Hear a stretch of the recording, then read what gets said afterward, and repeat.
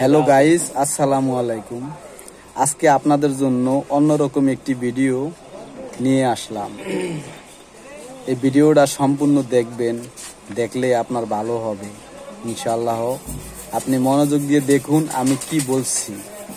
আমরা অনেকেই দেখছি শুনছি প্রতারকের হাতে ধরা খেয়েছে। প্রতারক তাদের থেকে অনেক অর্থ হাতিয়ে নিয়েছে। তো আজকে আমি যে কথাগুলো বলব, ভাই, শিক্ষার শেষ নেই। মৃত্যুর একদিন আগ মুহূর্ত পর্যন্ত শিক্ষার কিছু না কিছু বাকি থাকে, ভাই। ভিডিওটা দেখেন, কাজে লাগবে। অন্য একজনকে দেখার সুযোগ করে দিন। তো আমি ভেজিটিন কার্ডের ব্যাপারে আপনাদেরকে যা বলতে চাচ্ছি সেটা বলি। আপনি যদি নতুন দোকানদার হন বা পুরান দোকানদার হন, অনেক সময় দেখবেন ঠিক এইভাবে ভেজিটিন কার্ড নিয়ে আসবে এইভাবে। দেখবেন এমন। ভেজিটিন কার্ড ঠিক এই মাফেরই হয়। তো ভেজিটিন কার্ডে লেখা থাকে নাম্বার লেখা পাশে দিয়ে, দশ হাজার, পাঁচ হাজার, বিশ হাজার যে কোনো একটা অ্যামাউন্ট লেখা থাকে। আপনাকে টাকাও দিবে পে করবে। তো আপনার এই ভেজিটিন কার্ডের নাম্বারে ঠিকভাবে টাকাও পাঠাইলেন।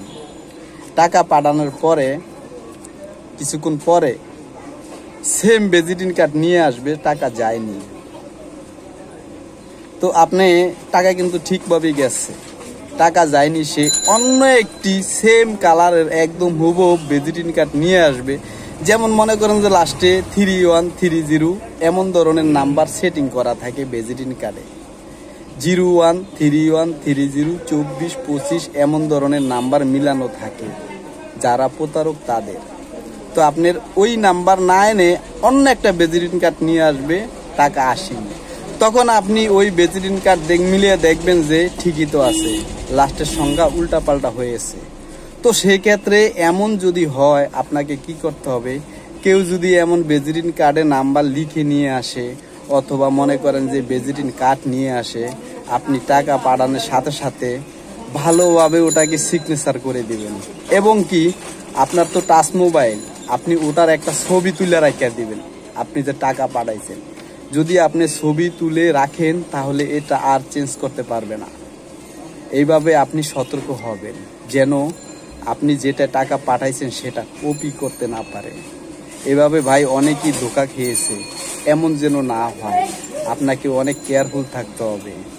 তো ঠিক আছে, আমার এই ভিডিওটি যদি আপনার ভালো লাগে লাইক কমেন্ট দিয়ে আমাকে উৎসর্গ করে তুলুন। তাহলে যদি আপনারা লাইক, কমেন্ট করেন, এমন ভিডিও বানাতে আরও চেষ্টা করব, কারণ এখন দিন দিন প্রতারক বাড়তেছে। আমার এক ভাইয়া কি জানি বলবে, একটু শুনেন। হ্যাঁ ভাইয়া বলেন। আসসালামু আলাইকুম। আমি বলতে চাইছি শুধু এটুকুই, প্রিয় দর্শক, আপনার মনোযোগ দিয়ে শোনেন যে এই যে বড় ভাই যে কথাগুলো বলছে, কথাগুলো শুধু বাস্তবতার সাথেই মিল। কারণ এরকমের হ্যাকাররা প্রতারণার সাথে জড়িত থাকে, যেহেতু ওরা এরকম কাজ করতে বাধ্য থাকে মানুষকে হয়রানি করে। এই হয়রানিগুলো যাতে আপনারা না পড়েন এগুলো আপনারা সচেতন হন আর সব- সবাই এই ভিডিওটা দেখার শুরু করে দেওয়ার চেষ্টা করুন। আসসালামু আলাইকুম।